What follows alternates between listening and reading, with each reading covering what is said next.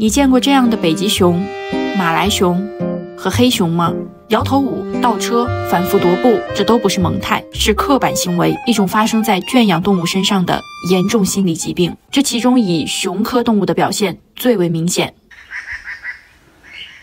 马姐是救助中心四号熊区的饲养员，这里的一百一十八头熊都是在政府的帮助下，从各种地方解救基本丧失了野外生存能力的黑熊。为了避免圈养的黑熊出现刻板行为，马姐的喂食准备工作就要两个小时。他们野外的熊在外面，它可以自由觅食，我们这里没有办法，所以说我们就给它创造一些环境。马姐口中的创造环境，有一个更为专业的说法。丰容就是丰富动物的生活环境，使它接近于真实的野外生存场景，丰富野生动物生活情趣，排解它们的无聊。这也是防止被圈养动物发生刻板行为的最有效方案。不是我们这里熊很多熊都是不是在笼子里面关了太久了，有风湿啊，行动上的各个问题嘛，所以说这样子会让它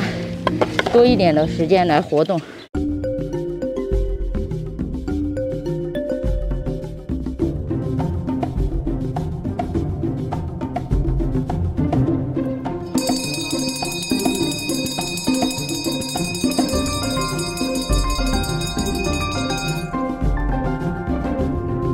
有的时候，我觉得这些熊哈，它就是属于是什么不会说话的一个小孩子一样。这些熊在我的照顾下，从他们来的时候身体不健康，到身体活蹦乱跳，很开心的在这里生活。我觉得是应该是从心里人就接受我们了，把我们当朋友一样了。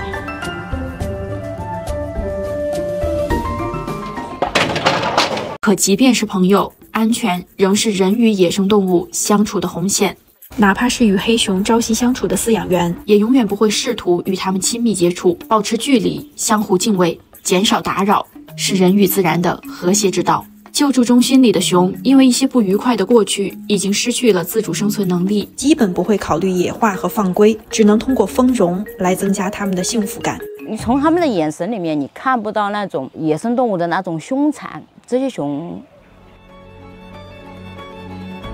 马姐和一些动物保护机构也不再想用过去来调动大家的情绪，他们相信，对于现在和未来来说，更有效的是教育，是面向动物园、救助机构、动物爱好者和每一个人的科学的动物保护教育。当然，他们更希望的是，我希望有来世的话，他可以自由自在的在野外生活。